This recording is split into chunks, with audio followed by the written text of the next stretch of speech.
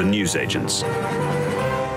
Talk about uh, support gathering around your cabinet colleague Penny Mordaunt, that she could be a candidate that people will unify around, and that the Prime Minister's days are numbered. How, how safe do you think he is? Uh, well, I'm sure if Penny was here, she would be uh, distancing herself from those comments.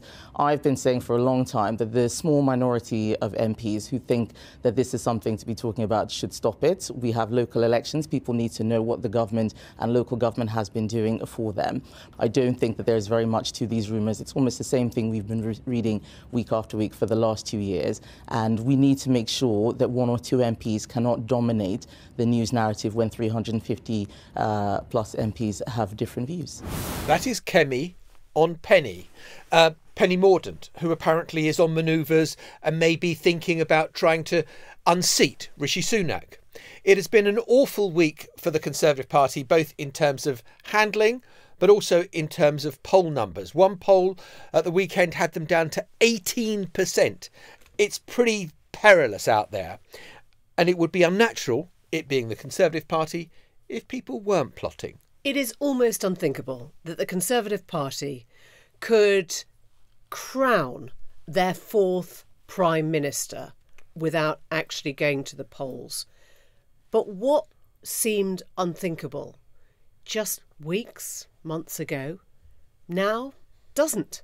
And the bigger question is if we're not seeing an election early May, can Rishi really hang on to the end of the year? Welcome to the Newsagents. It's Jon. It's Emily. And this is, we are told by Rishi Sunak, the week for bouncing back. Now put everything you know about Alan Partridge's autobiography out of your head and treat this with the respect it deserves. Because Rishi Sunak has said something to start the week off, which I think is going to get under the skin of a lot of his colleagues. And that is a warning shot. If you think you can replace me, displace me, get rid of me, I can just pull the plug and call an election. Now, we don't know how solid the numbers are for even talk of replacing Rishi Sunak, but we do know, I think, that the moment you start saying to your colleagues, I'm going to use an election to shut you up, that's going to really annoy a lot of people who might not have been thinking about it in the first place. And it also shows weakness, doesn't it? Because if you're in a strong position, you don't threaten your party with, I'm going to blow us all up together. If you come after me, we're all going down. I will set off. I have got the, the bomb it's the belt. suicide bomb, isn't I've it? got the suicide belt and I'm going to take us all down. Yeah. So don't think you can just take me down alone. And I think that is the sort of perilous position that Sunak is in, where another week, another two weeks have gone by, where you've just thought, oh my God, the judgment is so hapless and they're getting things so wrong and things that are sort of self evident that what you need to do. And it was telling that it was Kemi Badenoch doing the rounds this morning because it was Kemi Badenoch last week who forced number 10's hand to change their stance on Hester and say, yeah, of course it was racist what he said. And I think last week Rishi Sunak decided or thought he was putting the lid on all talk of an early election by saying no May the 2nd. That might have worked for a bit, and you know maybe there's sort of relief in in the campaign offices and the advertising offices and the newsrooms even that they don't have to get everything ready in a month's time. But there's also a sense of well, if it's not going to happen on May the 2nd, which was the one that would align with local elections anyway, then what does the rest of this year look like?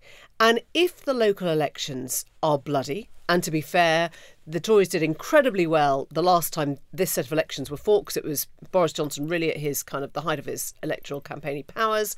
They are expecting things to be pretty awful this time round. If they are, then is there a putsch? Does that come just afterwards? Do they wait? Do they rely on what Rishi's saying about the economy turning around and Rwanda flights starting to get things done? Or do they start trying to surface a few names, put a few names into the list, into the ether? To see how they sound to more people about a different leader.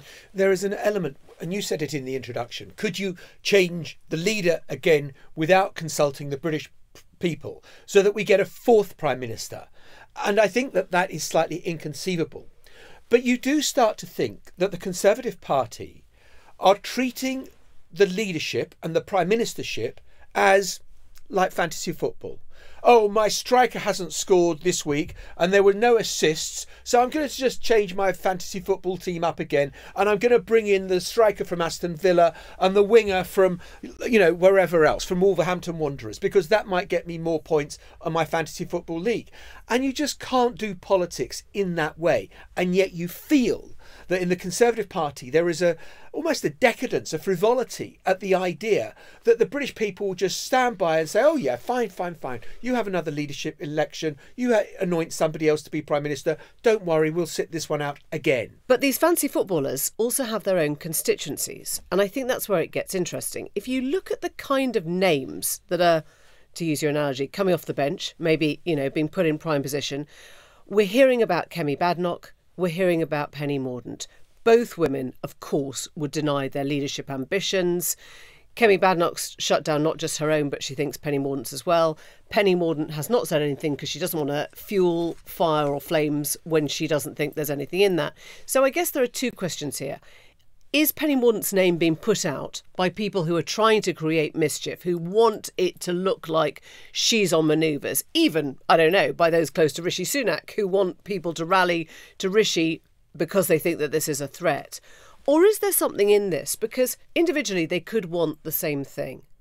I don't think they do. If you look at Penny Mordaunt's seat, Portsmouth North, very likely, according to electoral calculus, to go Labour at the next election.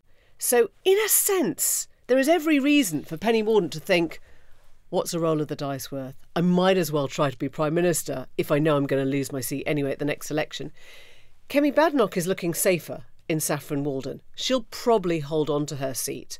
So why would she want to go early and become PM for, you know, a matter of weeks or months if she could actually win the seat and lead the Conservatives to the next general election as a proper kind of deeper rooted opposition leader.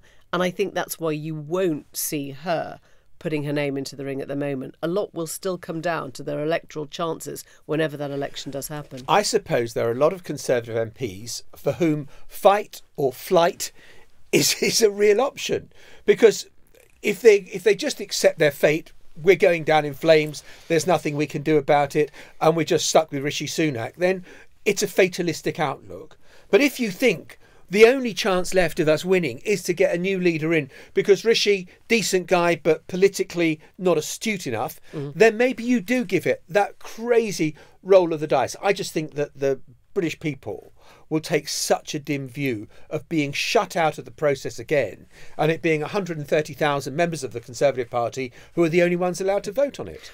Well, let's bring in somebody who's just been listening um, to us talk this through. It's Geoffrey Clifton Brown. He's the Conservative MP for the Cotswolds, and he's also the treasurer of the 1922 committee. And I'm imagining, Geoffrey, as you were listening to us, you were saying, Oh, stop fanning the flames. There is nothing to see here. We're not going to change leader, and Rishi's doing just fine. But prove me wrong. Well, I think there is an, a small element of people doing exactly what you're saying. Uh, clearly, historically, we won a very big victory in 2019. So you would expect, whatever the outcome of the next election, we will be a smaller party. Even if we actually win the election and get into government, we will be in a smaller party than we are at present. That means that there are MPs out there that are doing exactly what you say, rolling the dice and thinking, how could I possibly save my uh, career and my seat? There are others, I think, p- positioning themselves for a post electoral position um, and thinking, what can I do now to ensure that my particularly preferred candidate is actually going to be there in the event that there is a change of leadership? So, Penny Mordaunt, Kemi Badenoch, among others? Well, I wouldn't even necessarily say it's them themselves, it's their particular supporters. Yes, I mean, you've named two people who will clearly be in the frame for a future leadership campaign. Others will be uh, Robert Jenrick and, and, and Suella Braverman. They're all going to be in the frame. And that's why I think it's so divisive and so damaging to have a leadership campaign now. It's not as if there's a Margaret Thatcher out there who the whole party can unite around and who would make a significant difference. I think you're absolutely right that if we have a leadership uh, campaign now, the part, the, the public the world will think the Conservative Party has gone mad. Four candidates in four years, four prime ministers in four years.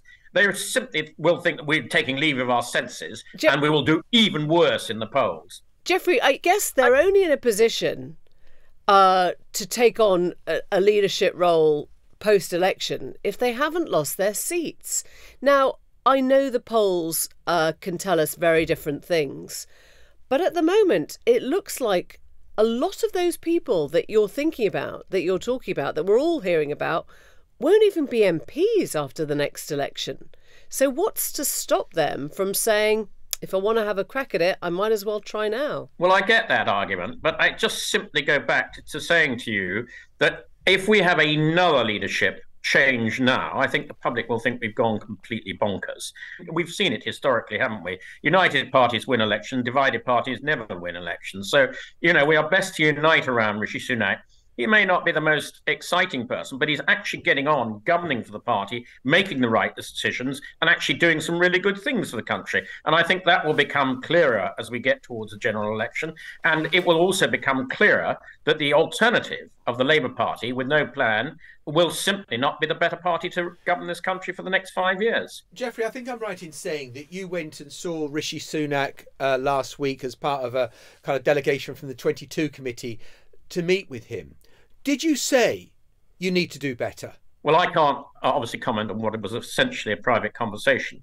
I can give you my personal view as to what the situation is, if that would be helpful. Very. My personal view is that we should actually be communicating those successes that I've been alluding to far better. Uh, the budget uh, had some important announcements in it, but we lost the communications battle after two days. We should have been having that on the front pages for at least a week. And I have suggested that we take a theme, we run with it, we get the whole cabinet behind that theme, and try and communicate uh, these successes uh, properly. But whose fault is that? Because whenever I've heard, and I've heard this for years, when a government's doing badly, you say there's nothing wrong with the policy, it's just our communication. Where does responsibility lie for that? Because presumably, look, Rishi Sunak is the CEO. He should be driving what the messaging is. Well, I accept that entirely. Of course, he's got to dominate the policy. But what we're doing at the moment is just simply reacting to events uh, take the donor scandal, we should have admitted straight away that what he was potentially said, allegedly said, I don't know whether it was or whether it wasn't, was racist and dealt with it in that way and moved on, instead of which we allowed the, the whole thing to dominate the news for a couple of days when we could have actually allowed it, allowing some of our achievements to be dominating the news for the next couple of days. So I think there is, I agree with you, he is the chief executive. He's got to be in charge of the number 10 operation. He's got to be in charge of the CCHQ operation. But I think the communications need to be sharpened. So, of course, once you've admitted it's racist, the question is why would you want your party to be funded by a racist or by somebody who uses racist language? Should that money have gone straight back then? I don't know the facts of this, but I'm told that this was something that was said in a private meeting five years ago. Why would somebody have stored that up and announced it now, I suggest to do the maximum damage to the party. If it, if they felt so strongly about it, why didn't they bring it to everybody's attention five years ago? So would that be your way of saying, you know, publish and be damned, we're keeping the money and we'll keep any extra money that comes from that same person. Well, I think these are matters for the party. They're not matters for me as a, a, a normal backbencher. No, but as you're I also understand... a treasurer of the 1922 committee, so presumably you think about the way the party and its various elements are funded. Well, of course I do.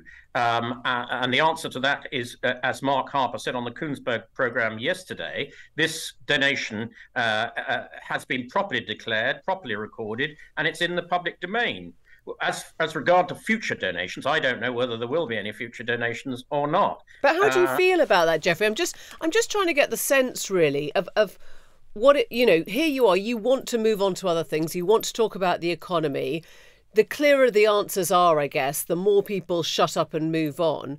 I mean, how do you feel being in a party that is or has accepted that money and doesn't say we would never do that again? Well, we clearly would not accept uh, any future donations from this uh, this particular donor, having said what he said, which I think was totally wrong. It was it was unkind. It was racist. Uh, if it if it is as it was alleged in the in the media, it came out as it was, we shouldn't, we won't, I'm sure, uh, uh, uh, accept any future donations. What happened five years ago? It's five years ago. It's before the last general election, and we want to be as clean as we can about these donations. There have been other instances in other parties where similar things have happened, uh, and they've not accepted the donation, and that's how it should be in politics. There, that's why we have the system of public de- de- declaring the donation, so that people can make a judgment when it was said and how it was said. And this is, as I say, five years ago before the last general election. We know that the Conservative Party has declared £10 million in donations from Frank Hester.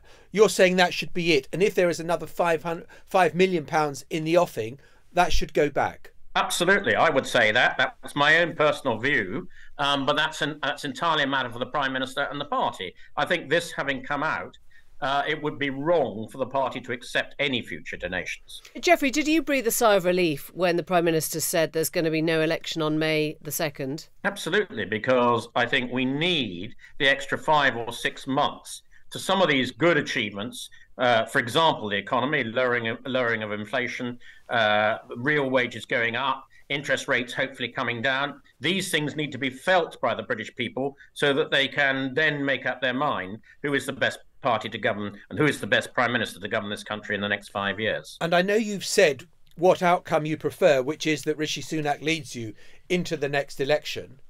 What are the chances, do you think? What are the odds that he will? I think extremely good. I say I reckon that there is a fairly small number of people promoting the sort of things that you in the media want to hear about splits in the party. I do not detect that there is any wholesale wish to get rid of Rishi Sunak at this stage. Geoffrey Clifton Brown, thank you very much indeed for being with us. Thank you. Thank, Thank you, you very much. Thank you.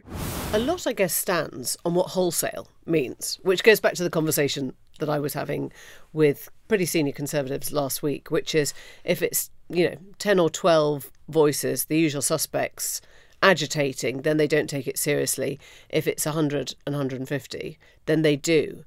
But actually, to replace Rishi Sunak, all they need is 15%. Fifteen percent to force a leadership contest. To force a leadership contest, which isn't actually that many.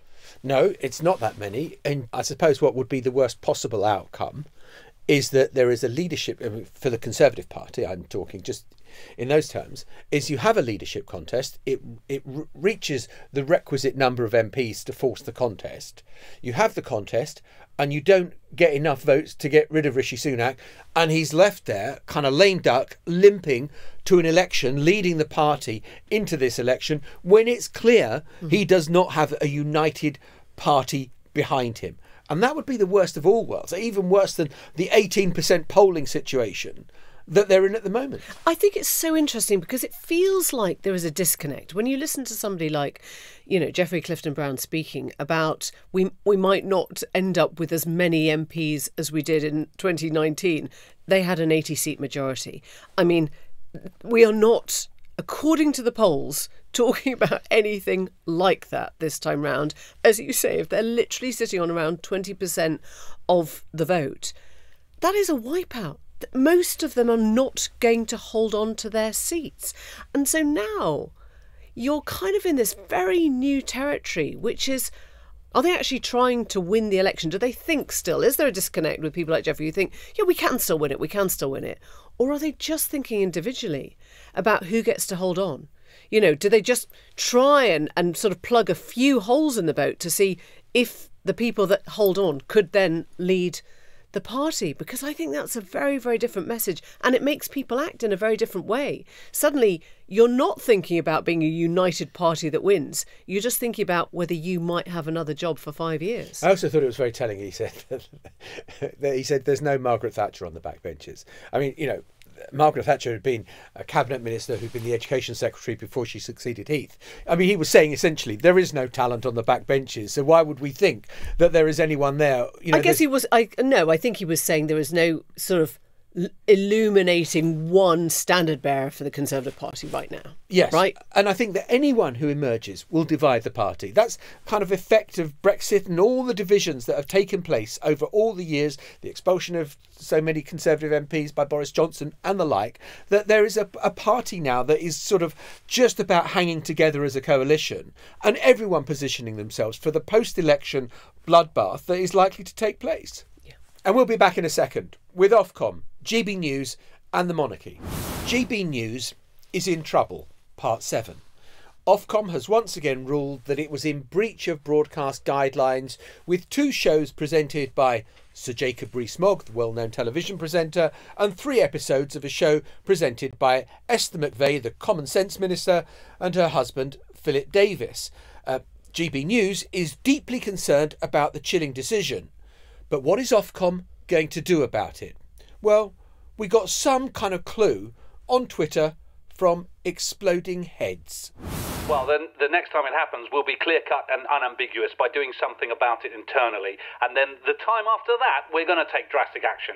So, not the next time it happens, but the time after. Unequivocally, yeah. And, and they won't be getting away with it. Our message is crystal clear. In two or maybe three times' time, you will be sorry. And so, what will you do in two or three times' time? We'll write an unequivocal tweet saying, stop mm. doing this. Mm. And then if it happens again, I'm sorry, but we'll have absolutely no choice but to write another tweet. And what will the tweet say in two or three times' time? It'll say very robustly, enough is enough. Thank you, enough's enough. So there you go. That was not, just to clarify, Ofcom. That was a sense of how little people assume Ofcom will ever do about GB News, even though they keep coming out with these statements.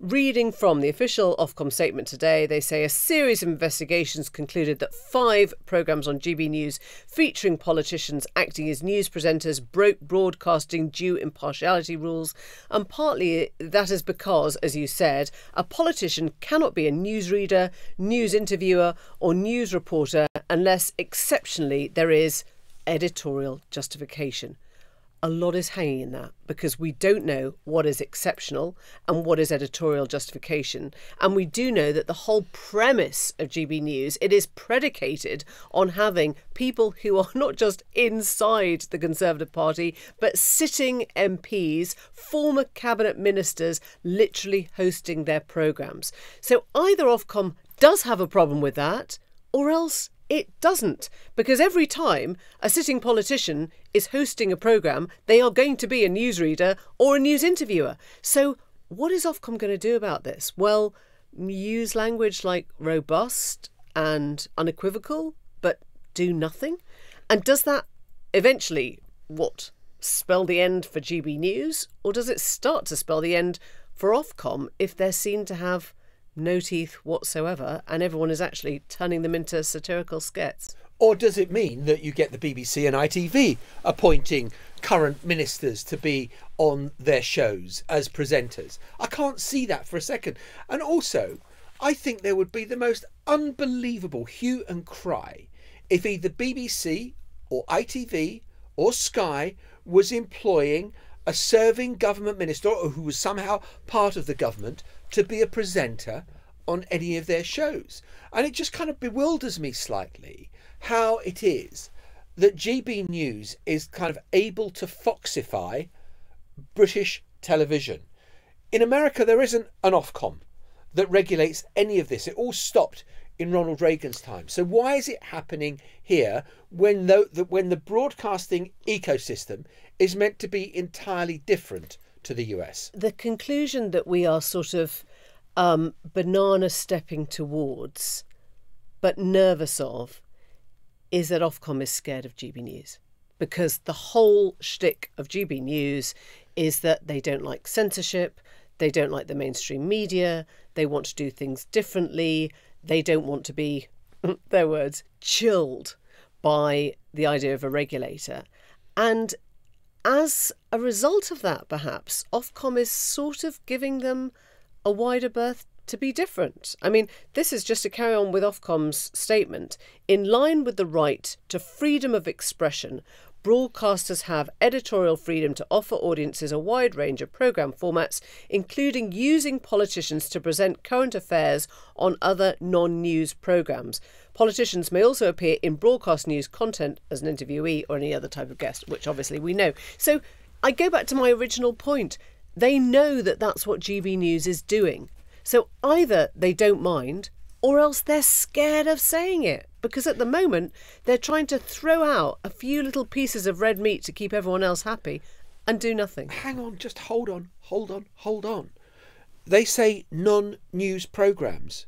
What is the name of the channel? Oh, it's GB News. Yeah. It is not like Michael Portillo getting on some trains and travelling around the world.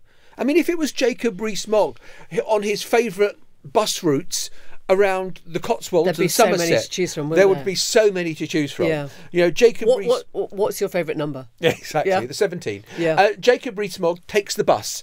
That would be fine. I'd have no problem with it. But it's Jacob Rees-Mogg doing politics. Jacob Rees-Mogg would have a problem with that. I think I think Jacob Rees-Mogg would have a problem with that. But that is the difference.